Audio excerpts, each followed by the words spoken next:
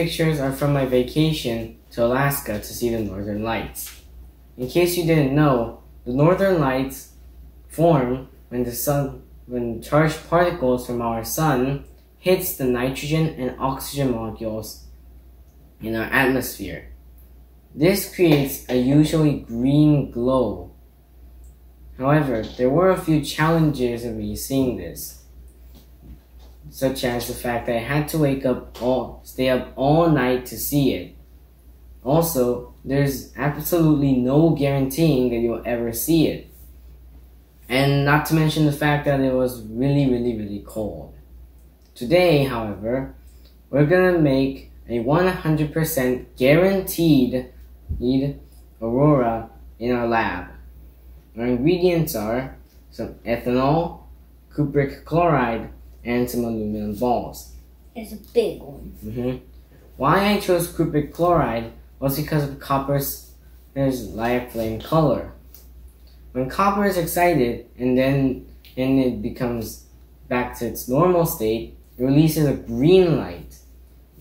This will make it resemble the northern lights. So th- this is why copper became the chosen one. Chosen one. hmm So, and also aluminum will help expel the copper ions and make the flame glow more green. So, let's make it. First off, we have to pour alcohol into our beaker. Now, I strongly recommend using a beaker because we tried it with the flask and it didn't let any air in, and, which caused the alcohol well, to burn less.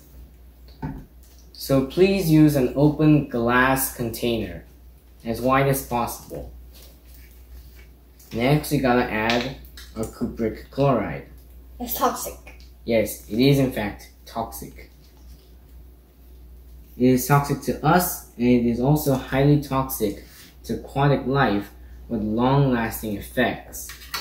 Therefore, cupric chloride solutions should never be washed down the drain. Sorry. and also, because cupric chloride is toxic, always remember your safety precautions. Now we have our copper 2 chloride solution ready to go. Now our, my brother will add the aluminum balls.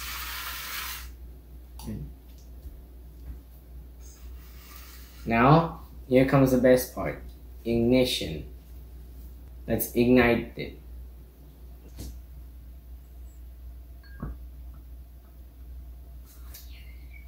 Oh, green.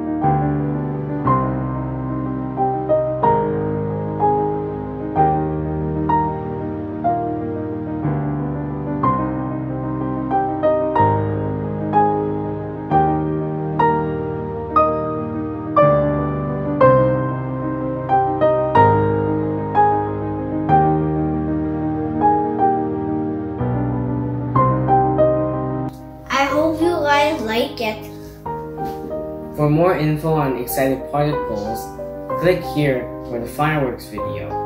구독, 좋아요. Mhm. See you Subscribe and like. and see you in our next chemistry experiments. Bye. Bye.